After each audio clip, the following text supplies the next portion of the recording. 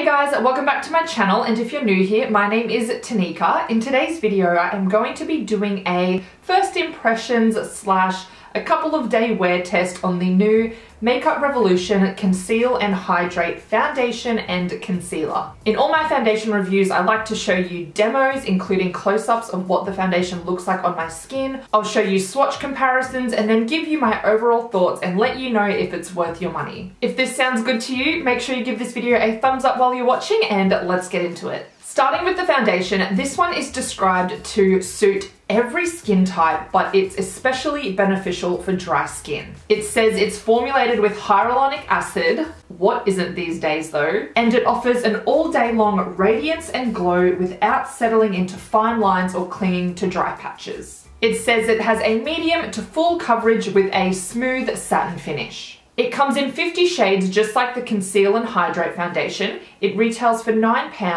which translates to roughly 16 Australian dollars and it comes with 23 mils of product. This foundation also comes with a pump, which is a really nice upgrade from that paddle doe foot applicator thing in the Conceal and Define foundation. Now Makeup Revolution did recently come to Priceline in Australia, but this one isn't available yet, so you do have to pick it up from the Revolution website. So the shades I'm reviewing today, the foundation I picked up F0.7, which is described for fair skins with a light neutral undertone, and the concealer I picked up the shade F0.2 which is for fairest skin tones with a light yellow undertone. Alright well let's jump into some swatches so you can get a feel for the shades. Alright so the first three shades here are actually concealers. This is the Makeup Revolution Conceal and Define in C1 and the Conceal and Define in C0.5.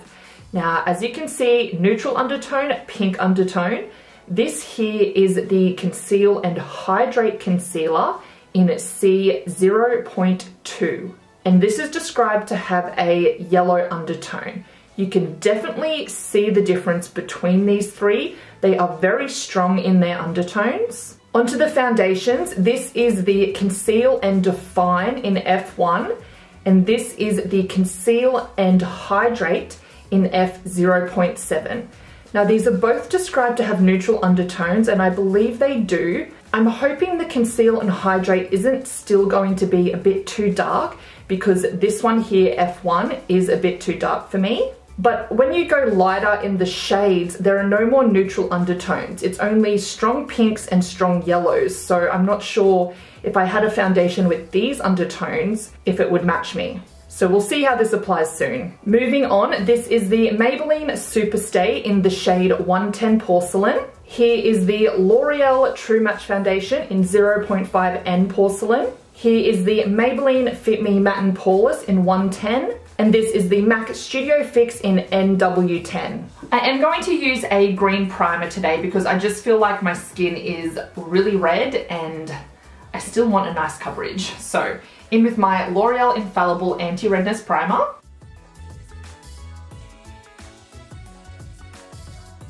I would then usually go ahead and color correct these blemishes further, but I think I'll leave it so I can see what the coverage is really like. Now for reference, I do have normal to combo skin. I get a little oily throughout my T-zone and then I also get dry around any breakouts and pimples that I do have. I recently tested out the Fenty Hydrating Foundation and Although it did look nice at first, it didn't really hold up on me. I will link that review down below. So I'm interested to see how this hydrating formula goes. It's quite a liquidy formula. You can see that it is traveling down the palette quite quickly. I think this color might be all right actually. Ooh, okay. I'll do half of my face with my sponge and the other half with my brush.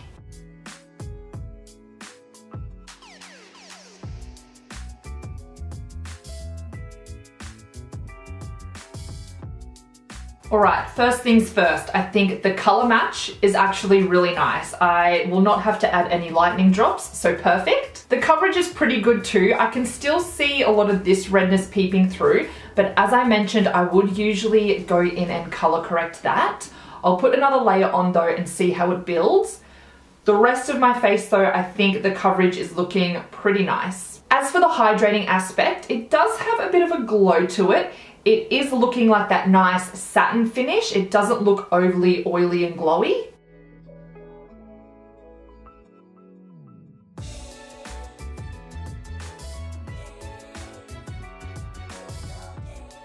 Alright, that layered pretty nicely. I would definitely say it's a medium coverage because again, I can still see these blemishes. Alright, so I'll do the other side with a brush. This is the Sigma F82 Round Kabuki.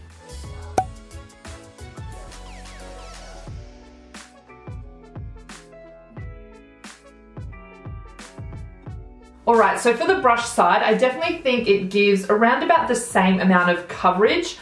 I can see a few little streak marks or like brush marks on my chin though, so I'm just going to smooth that out with my sponge. So again, I definitely think it has a medium coverage. It has that nice glow. It's nothing too dewy, it just looks like a really nice natural satin finish, which I really like on me. If you have really dry skin, I don't know if this is going to be enough to hydrate you. Now for the concealer, this one is described to be suitable for everyone looking for a lightweight finish with a boost of moisture. It offers all day hydration thanks to an infusion of, you guessed it, hyaluronic acid. It covers blemishes, even skin tone and counteracts dark circles while drenching skin with moisture. It says it is designed for drier skin. The sheer satin finish won't settle into fine lines and the doe foot applicator allows for a smooth, delicate application. So I picked up the shade C0.2. It says it comes with 13 grams of product. It retails for eight pound, pound, eight pounds, which is around 14 Australian dollars. So I am a little bit worried about this one because as you saw in the swatch, it's super yellow. Wow. Let's do one eye at a time and just uh, see what happens.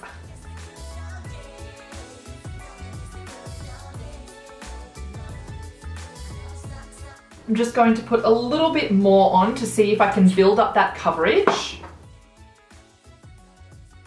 Okay, that is super, super bright, a little bit too bright. Once blended in though, it doesn't look really yellow. It kind of just gives that brightening effect. The coverage, I would definitely say medium. My under eyes don't look really hydrated either. Let me zoom you in. I think that just looks pretty average. I'm not going to use as much on this side. I think I went a little bit overboard before.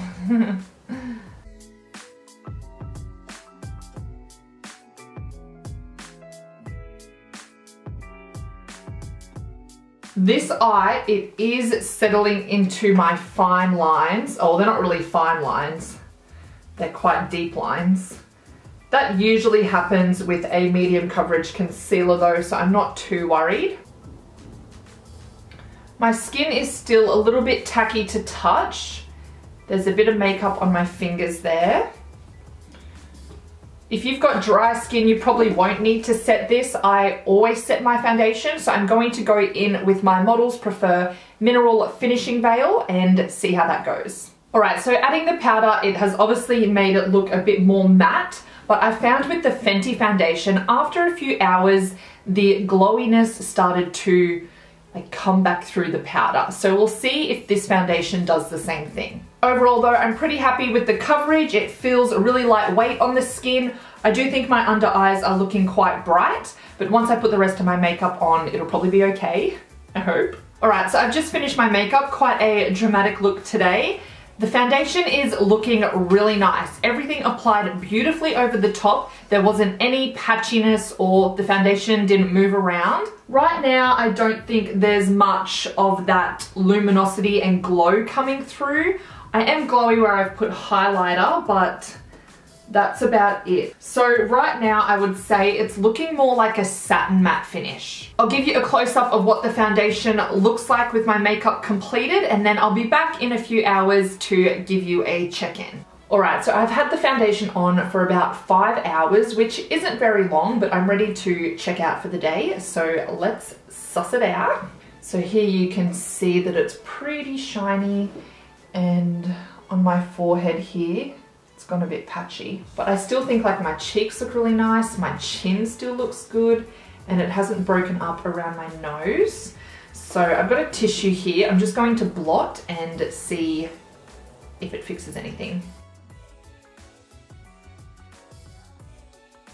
All right, so I think that definitely helped to get rid of that shiny look. As I said, five hours really isn't a long time for me to be testing a foundation, so I will wear it to work tomorrow and you will see me tomorrow afternoon with another check-in. Hey guys, so I have had the foundation on for eight and a half hours. I wore it to work today and I've got some, I've got some thoughts. Firstly, I think I put too much on this morning because it looked pretty cakey from the start. Yesterday I only applied two pumps, but today I did three because I wanted to see how well it layered and it looked good at the time, but once I powdered and did the rest of my face, I was just like, ooh, she cakey. So let's start with the fact that it's meant to be a hydrating foundation. It's definitely not as dewy looking as the Fenty foundation. I definitely think it's more of a satin matte and even after having it on for eight and a half hours, I've only blotted once and even then not a lot come off.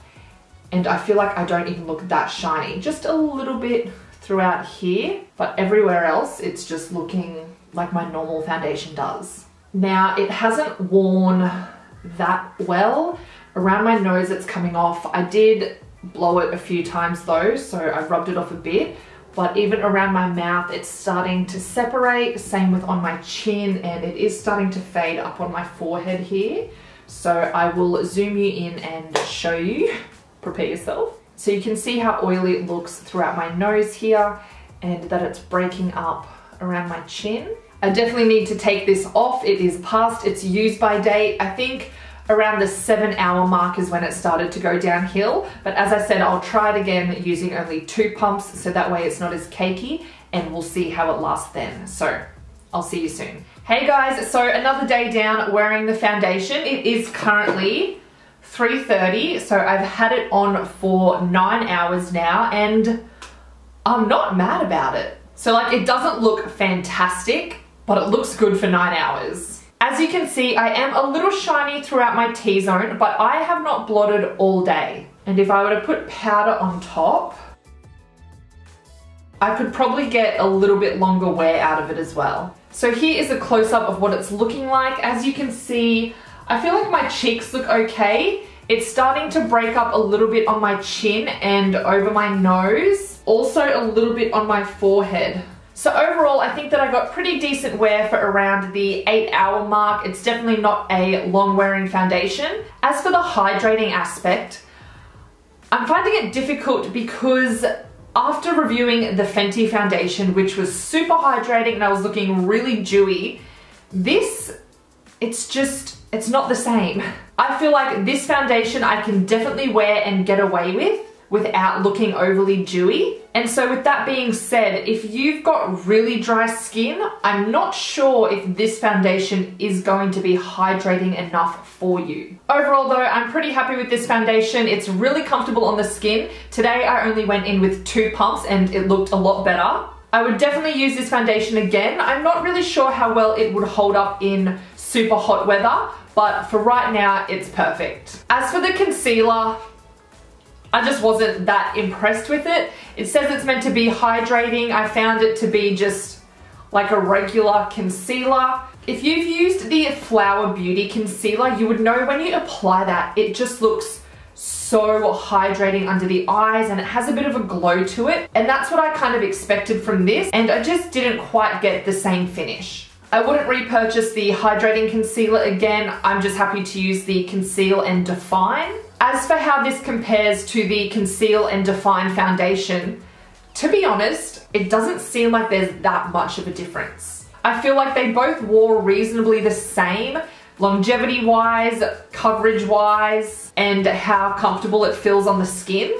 If you were tossing up between the two though, I would just go depending on your skin type. If you've got dry skin, get the hydrating. If you've got normal to oily skin, get the conceal and define. Alright, well I think that is everything I have to say about this foundation. If I missed anything or you have any questions, just leave me a comment down below. I hope you enjoyed watching and if you did, make sure you give this video a thumbs up. I hope my foundation reviews have been helpful for you as well. If you're new here, I would also love it if you would subscribe to my channel and if you want more foundation reviews, I will link my playlist down below. Alright, well I hope you're all having a fantastic day and I'll see you in the next one. Bye! So I picked up the shade Z0 video a thumbs up. I hope you... oh my god,